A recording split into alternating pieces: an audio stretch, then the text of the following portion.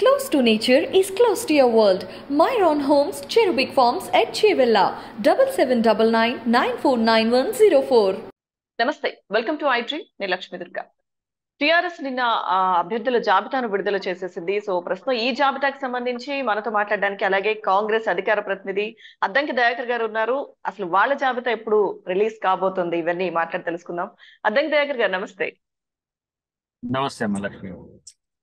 దయాకర్ గారు ఏంటి పరిస్థితి? టిఆర్ఎస్ నిన్న మొత్తం జాబితా విడుదల చేసేసింది. సో కాంగ్రెస్ ఎప్పుడు రిలీజ్ చేయబోతుంది అంటారు? యా కాంగ్రెస్కు ఒక కాన్స్టిట్యూషన్ ప్రాసెస్ ఉందమ్మా అది. ఎందుకంటే బిఆర్ఎస్ మాదిరిగానో లేకపోతే స్థానిక పార్టీలు లేకపోతే ప్రాంతీయ పార్టీల మాదిరిగానో వ్యక్తి కేంద్రకంగా ఉండదు. అది ఒక వ్యవస్థగా ఉంటది. డెఫినెట్గా ఇది అప్లికేషన్ ప్రాసెస్ ఉన్నది. మామూలు కార్యకర్త నుంచి పిసిసి వరకు ఎవరైనా సరే అప్లై చేసుకోవడానికి ఒక పద్ధతిని ఏర్పాటు చేసినాం. అది ట్వంటీ ఫిఫ్త్ వరకు అది ఉంటుంది. దాని తర్వాత స్క్రూటినీ స్క్రీనింగ్ కమిటీ స్క్రూటినీ ఉంటది. స్టేట్ ఎలక్షన్ కమిషన్ నుంచి సిఫారసు తర్వాత సెంట్రల్ ఎలక్షన్ కమిషన్ దాన్ని అప్రూవల్ చేస్తుంది. మేబీ ఇదంతా కూడా ఒక ట్వంటీ డేస్ ప్రాసెస్ ఉంటుంది మినిమం. కాబట్టి అది అప్పటి వరకు సమయం పడుతుంది. సరే వీళ్ళు ఏంటంటే అంతకంటే ముందే మేము ప్రకటించాలని ప్రకటించినా కూడా మరి మాకైతే అది ఆ ఆ ప్రకటన వల్ల కాంగ్రెస్ పార్టీకి ఒక అనుకూలమైన ప్రకటనగా నేను చూస్తున్నా. ఎందుకంటే యాంటీ ఎస్టాబ్లిష్మెంట్ ఉన్న ప్రభుత్వం తర్వాత ఎమ్మెల్యేలు. వీళ్ళనే ప్రకటించడం వల్ల మా గెలుపు సునాయాసంగా ఉండబోతుంది అనేది కాంగ్రెస్ పార్టీ యొక్క భావన. అయితే దయాకర్ గారు సో అంటే ఇప్పుడు ఇంత లిస్ట్ని ఇంత త్వరగా ప్రకటించడం కేసీఆర్ వ్యూహం అని వాళ్ళు చెప్తున్నారు. సో ఇందులో ఇప్పుడు మీరు చెప్తున్నదే మీ వ్యూహం అంటారా? మా వ్యూహము ఇప్పుడు టిఆర్ఎస్ పార్టీతో కలిసి లేదు. ఎందుకంటే మేము మా ప్రాసెస్లో స్క్రీనింగ్ కమిటీ అనేది ముందు జరుగుతుంది. ఏ రాష్ట్ర ఎలక్షన్ ఇనిషియేషన్ అయినా కూడా ముందు screening committee election management committee ఉంటాయి. వీటితో పాటు పొలిటికల్ అఫైర్స్ కమిటీతో ఆ చర్చ అంతా జరిగిన తర్వాత స్టేట్ ఎలక్షన్ కమిషన్ ఉంటుంది. స్టేట్లో ఎలక్షన్ కమిషన్ వీటన్నిటిని స్క్రూటినీ చేసిన తర్వాత కాబట్టి మాకు బీఆర్ఎస్కు ఉండదు. ఇప్పుడు ఎవరైనా బీఆర్ఎస్ నుంచి మాకు సీట్ కావాలని అప్లై చేసుకునే వ్యక్తి మీకు ఎక్కడ కూడా కనబడడు. అది సెలక్షనే అది. ఎలక్షన్ కాదు. దాన్ని ఎవరెవరు ఫైనల్ చేస్తారంటే ఓన్లీ కేసీఆర్ అంతే. ఇక దాంట్లో వేరే ఉండరు. కానీ దీంట్లో అట్లా కాదు. ఎవరైనా చేసుకునే వెసులుబాటు ఉంటది. సో వాళ్ళ దాని వల్ల మాకు వచ్చింది ఏంటంటే ఏమైనా మార్పులు ఉంటాయేమో కొత్త వాళ్ళని తేవడం వల్ల ఇబ్బందికరమైన పరిస్థితులు వస్తాయేమో అనుకున్నాం కానీ ఇప్పుడు వాళ్ళ ఎమ్మెల్యేలు పోటీ చేస్తే మేం మీకు సహకరించమని దాదాపు నలభై యాభై సీట్లలో వాళ్ళు మీటింగ్లే పెట్టుకున్నారు ఏకంగా. అలాంటి వాళ్ళకే మళ్ళీ టికెట్ ఇచ్చిండ్రు వాళ్ళు. కంపల్షన్లో ఇవ్వాల్సి వచ్చింది. ఎందుకంటే అవినీతి అక్రమాల్లో కూరుకుపోయిన వాళ్ళంతా సంపాదన బాగా పెంచుకున్నారు ఎమ్మెల్యేలు. ఇప్పుడు వాళ్ళని కాదంటే ఇతర పార్టీలకు ఏమైనా ఆయుధ ఆయుధంగా మారిపోతారేమో మాకు నష్టం చేకూరుస్తారేమో అనే ఉద్దేశంతో వాళ్ళకే టికెట్ ఇవ్వాల్సి వచ్చింది. దానివల్ల ఉమ్, ఏమైతుంది ఇప్పుడు మీకు?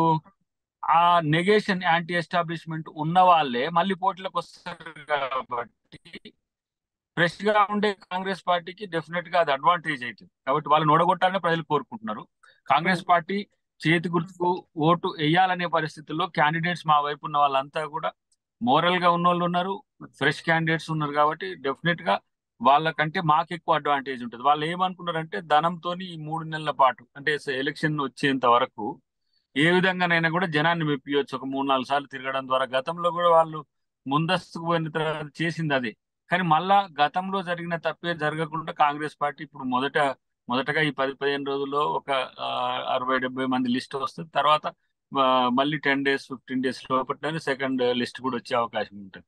కాబట్టి మేము ఎక్కడ కర్ణాటక మాదిరిగా ముందుగా క్యాండిడేచర్ను రివీల్ చేయడం వల్ల ఎట్లా అడ్వాంటేజ్ అయిందో అది వాళ్ళకి కావద్దనే ఉద్దేశంతో బీఆర్ఎస్ తొందరపడ్డది.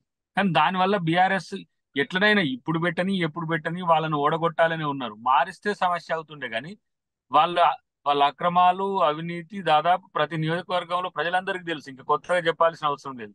కొత్త వాళ్ళు వస్తే ఏముంటుండే? వాళ్ళ మీద మేము ఇది అవినీతి చేసిండు అక్రమం చేసిండు అనడానికి అవకాశం లేకుండే. కానీ ఇది ఒక స్ట్రాటజీగానే పోతున్నాడు ముందు కేసీఆర్. తర్వాత ఆ ఆ వ్యతిరేకత వచ్చే నాయకులు ఎవరైనా ఉంటే వాళ్ళని మార్చాలని ఆలోచనతో కూడా ఉన్నట్టుగా ఒక ఇరవై ఐదు ముప్పై సీట్లలో మార్చాలి అన్నట్టుగా అది చివరి దశలో. ఇన్ని రోజులు ప్రచారం తర్వాత చివరి దశలో మారుస్తారని ఒక అంచనా కూడా ఉంది.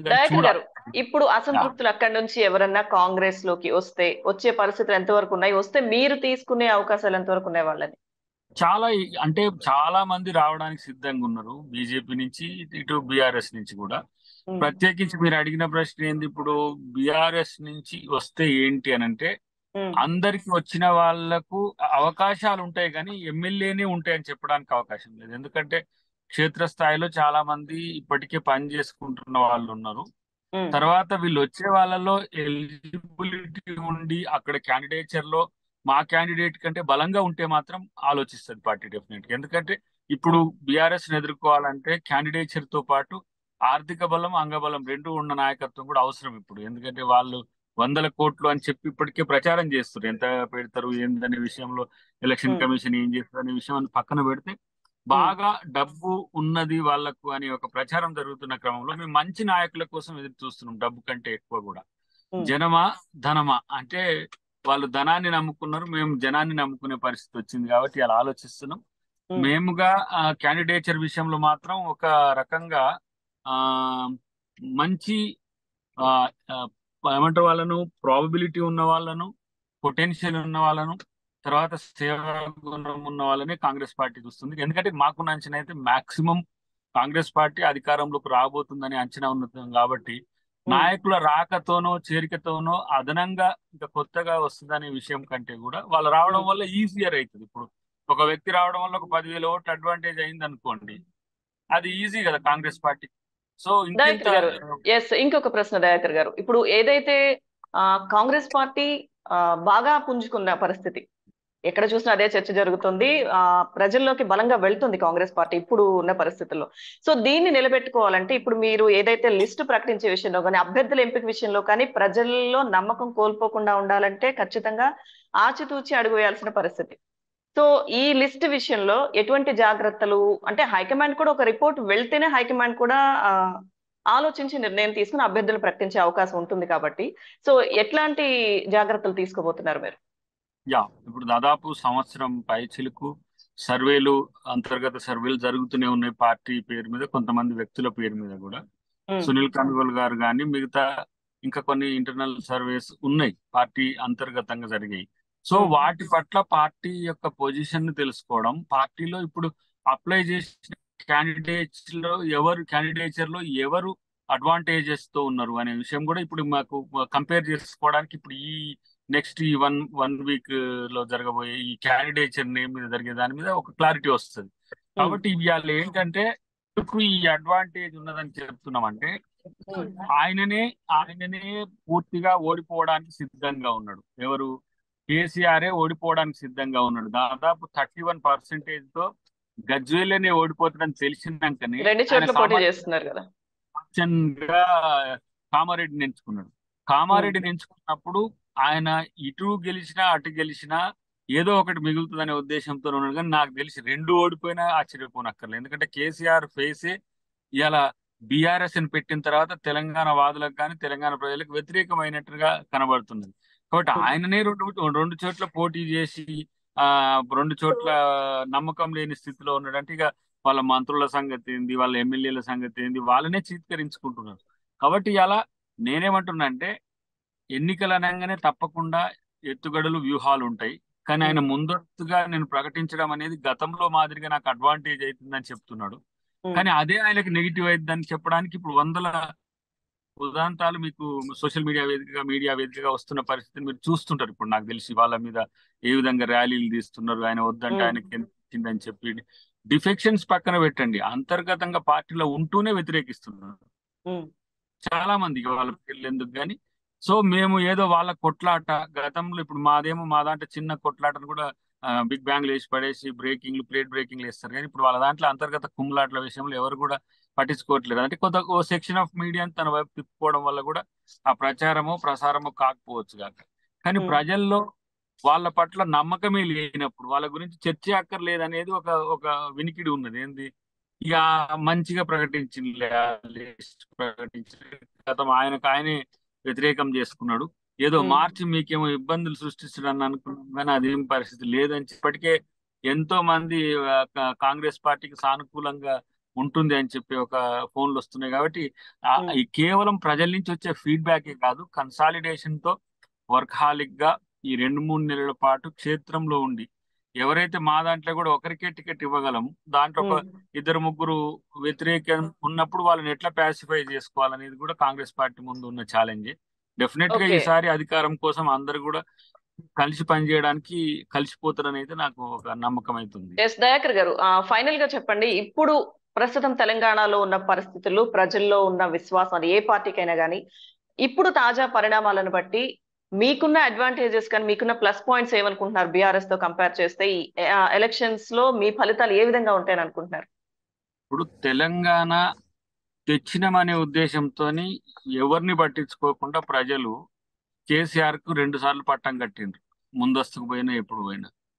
కానీ ఈ రోజు తెలంగాణ ప్రజల్ని వంచి అంత మోసాలతో ఉద్యోగులకు ఆ పిఆర్సీని పెంచకుండా ప్రమోషన్స్ ఇవ్వకుండా నిరుద్యోగులకు అవకాశాలు ఉద్యోగ అవకాశాలు కల్పించకుండా పేదలకు ఇండ్లు కట్టించకుండా తర్వాత ఇలా ఏదైతే మహిళలు ఉంటారో వాళ్ళ సాధికారతను పక్కన నెట్టేసి ఆయన ల్యాండ్ శాండ్ వైన్ వీటి మీదనే డిపెండ్ అయ్యింది అంటే భూముల అమ్మకం తర్వాత ఇసుక అమ్మకం లాంటి గుట్టలు మైనింగ్ అంతా అమ్ముకోవడం.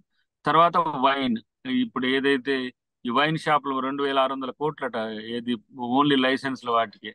యాభై వేల కోట్ల రూపాయలు తెలంగాణ ప్రజల నుంచి వస్తే పిండి వసూలు చేయాలని చూస్తుండు కాబట్టి ఆయన మొత్తం వాళ్ళ పేరుకు మాత్రమే ప్రభుత్వంగా ఉన్నారు. ఈ ఇసుక దందా లేకపోతే రియల్ ఎస్టేట్ దందా లేదంటే ఇలాంటి సారా దందా చేయడానికి ప్రభుత్వం ఉన్నట్టుగా ప్రజలు గమనిస్తున్నారు కాబట్టి మేము రేపు సంక్షేమం అభివృద్ధిని ఏ విధంగా చూపిస్తామో చెప్తున్నాం. రైతు డిక్లరేషన్ అనేది ఒకటి తర్వాత ఎస్సీ ఎస్టీ డిక్లరేషన్ రేపు ఇరవై ఐదో తారీఖు ఉంటది.